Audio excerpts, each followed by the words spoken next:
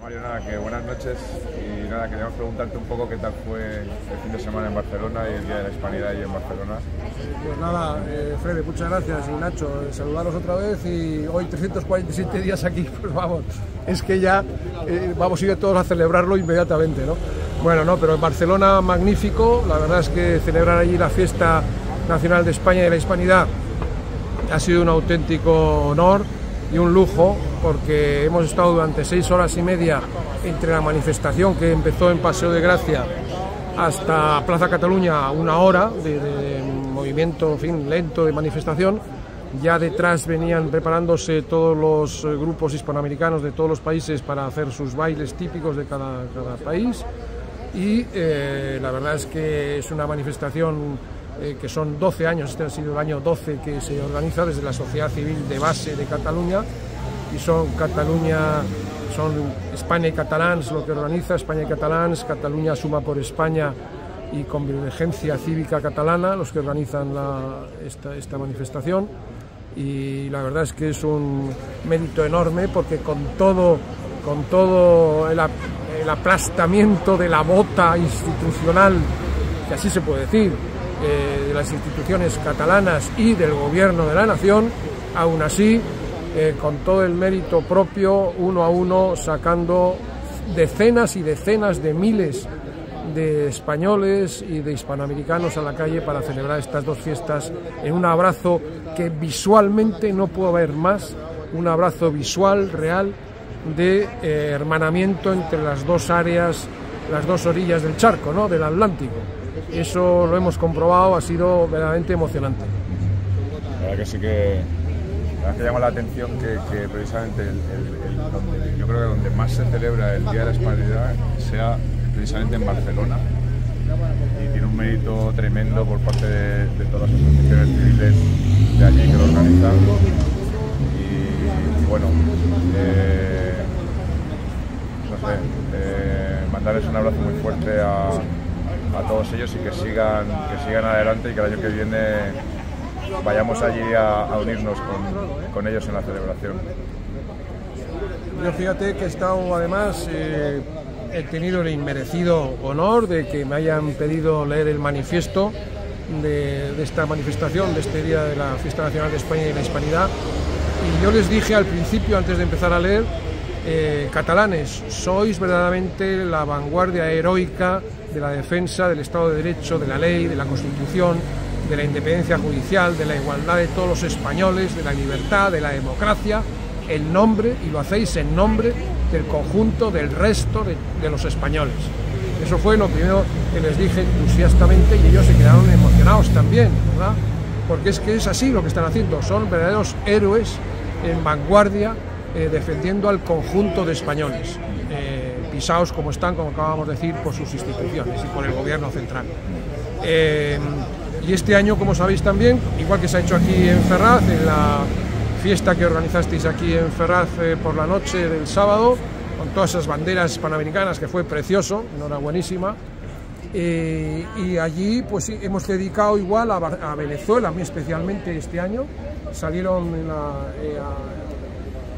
al final de Plaza Cataluña dos ponentes también a hablar en nombre de, Venezuela y como yo también dije en el manifiesto, citamos especialmente en esta ocasión tanto a Venezuela como a Cuba, a Nicaragua y el resto de países que están pisados por el comunismo sátrapa eh, que, todavía, digamos, corroe la libertad de las personas eh, en el mundo.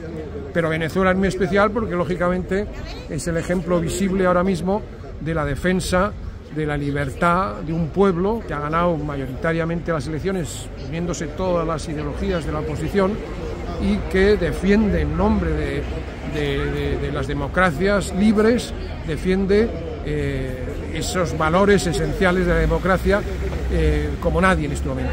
El mundo libre ha de estar muy agradecido a Venezuela, que está en primera línea, en vanguardia también de la defensa de la democracia en nombre de todos. Y, y bueno, eso es un poco lo que os puedo decir es una, es una celebración única, como digo, de decenas y decenas de miles de, personas participando, seis horas y media. Un ejemplo, cuando se hacía el Columbus Day que descabezó Biden porque aquello de que es un poco uno de los principales que está al frente de la leyenda negra y menos mal que aquello ha decaído finalmente, no sé si se hace ya o vamos, ya no tiene ningún recorrido lo que se hacía el Columbus Day famoso en Nueva York, pues es que resulta que Barcelona, y son 12 años digo, se ha convertido sin duda alguna en la capital de la festividad eh, popular más importante de España, porque lógicamente en Madrid se hace el desfile oficial que preside Su Majestad el Rey, que por cierto este año ha sido maravilloso, además con la lluvia que, ha habido y la demostración de lo que el pueblo español ha hecho claramente al presidente del gobierno, aun con la lluvia y los chuzos que caían. Bueno, pues es que Barcelona representa un poco el alter ego, representa la fiesta popular más importante de España y especialmente representa, he de decirlo, la capital de la hispanidad. Es la capital de la hispanidad Barcelona este día y la capital de también de todo el mundo hispano del resto del mundo, porque hay muchísimos países que sin ser de cultura hispana, pues hay muchísimas personas, instituciones, universidades, centros que estudian nuestra cultura en Japón, en Francia, en Austria, en Singapur, en Australia, etcétera, etcétera. ¿no? De manera que eh, eh, así es, eh, Barcelona se convierte, como digo, en la capital de la hispanidad y del mundo de la hispanidad a nivel internacional, ¿no? del globo. De manera que yo solamente puedo agradecerles que estén luchando por todos nosotros, que ese abrazo que decía que se están dando entre hispanoamericanos y españoles que aquí vivimos también todos los días, no obstante recordar que, aquí llevamos 73 días defendiendo seguidos, además de los 347 defendiendo la Constitución, Estado de Derecho, independencia judicial en España, ante un personaje que, que ataca directamente, eh, que es presidente del gobierno, pero que ataca directamente su, su, razón por la cual existe, es, parece insólito, pero es que estamos también defendiendo 72 o 73 días seguidos a la oposición venezolana y al presidente electo eh, Mundo González Urrutia y a María Corina Machado a diario aquí en, en Ferraz 73 días seguidos. No creo que haya tampoco nadie que en el resto de, España y en el resto de Europa, seguro, esté defendiendo a Venezuela como hacemos aquí los españoles de a pie a diario. Nadie. Y, por supuesto, la manifestación de, de, Barcelona, de, Ferraz. Como me dijeron allí en Barcelona, que además os traigo especialmente de nueve o diez personas recuerdos muy cariñosos y muy especiales. Por favor, dile a Nacho, por favor, dile a Ana, dile a Fede, dile a todos los amigos, les vemos todos los días. Y, pero es que me, lo, me, lo, me, me cogían de la, del brazo para que no se me olvidara. Me he hecho fotos con alguno de ellos, que os las pasaré, pero eh, emocionante que os dijera de ellos desde Cataluña, os siguen todos los días. Nacho, todos los días. Un abrazo muy grande a todos ellos que nos siguen cada día y también tenemos que animar a España entera a acudir este domingo 20 de octubre a las 12 en Plaza de Castilla, bueno. en esa gran manifestación. Pues sí, además me, pidieron que también los catalanes me dijeron que por favor lo dijeran mis palabras al final de, del manifiesto, que llamara a eh, la concentración masiva, como acabas de decir, que hemos de lograr de toda España que vengan y toda Madrid en Plaza de Castilla el próximo día 20, domingo, eh, a las 12 de la mañana, o sea, domingo hemos tenido la gran fiesta nacional de España y la Hispanidad y el siguiente domingo, siete días después, el día 20, la gran manifestación en defensa de la unidad, de la libertad, de la dignidad y de la democracia y exigiendo la dimisión fulminante de quien no merece un minuto más por indigno ser presidente de gobierno.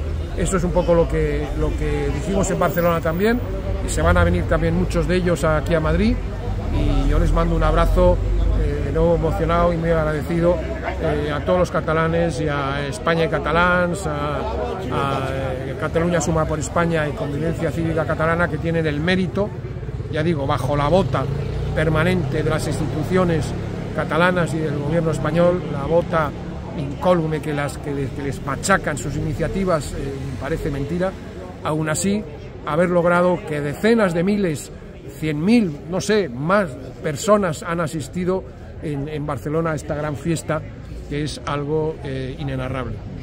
Pues muchísimas gracias, Amalio. Muchísimas Despide, gracias. Fede. Una, Gracias, Nacho. Un abrazo para Barcelona y para los catalanes por, por, el éxito de la celebración, que se siga repitiendo todos los años eh, en Barcelona y yo diría que en toda España, porque es, es, un, es un, acontecimiento, es una fiesta que, que, que ha movido los, allí en Barcelona todas estas instituciones y estaría bien que estuviera en toda España. Fede, pues me das pie, si tenemos un segundo más. Sí, sí, claro. Me das pie justo lo que acabas de decir. Es que gracias a Barcelona, y aquí en Ferraz habéis eh, logrado varias ciudades de toda España, unirlas por primera vez, y son 31, en este caso hemos unido 31 ciudades del resto de España por primera vez que nunca se hacía imitando la estela y el ejemplo de Cataluña en Barcelona de la Fiesta Nacional de España en Hispanidad. Este año hemos salido en toda España 31 ciudades a celebrar lo mismo. Es la primera vez que se hace y es una cosa impresionante.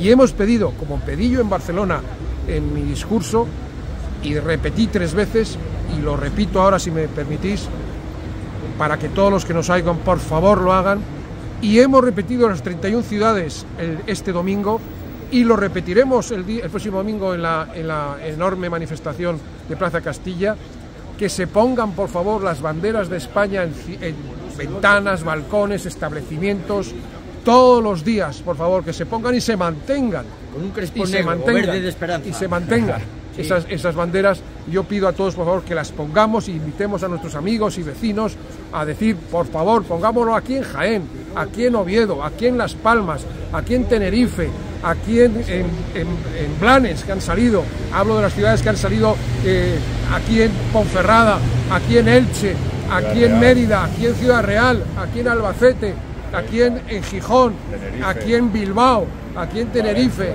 Valencia, como dices, o sea, 31 ciudades donde hemos repetido el mismo mensaje este día eh, pasado domingo, hemos repetido el mismo mensaje que se pongan por favor eh, las, las, banderas en balcones y ventanas de toda España. Y que se permanezcan puestas porque es lo que más nos puede unir a todos los españoles, la mayor demostración que nuestro ánimo se levanta para exigir finalmente que la democracia y la libertad tomen definitivamente el protagonismo necesario que es absolutamente indispensable que tomen y que absolutamente por esa razón desplacen a alguien que está atacando inmisericordiamente la libertad, la unidad, la independencia judicial, la igualdad de todos los españoles, la democracia de todos los españoles y algo, fíjate si esto es gravísimo, pues algo todavía peor, está atacando el abrazo, la concordia y la paz que nos dimos todos los españoles hace ya casi 50 años. No podemos permitir que alguien sin ninguna moral lo, consiga. No lo va a conseguir. No lo va a conseguir, Amalio. Muchísimas, muchísimas gracias. Buenas noches. Viva España y viva Venezuela libre. Muchas gracias. Buenas noches.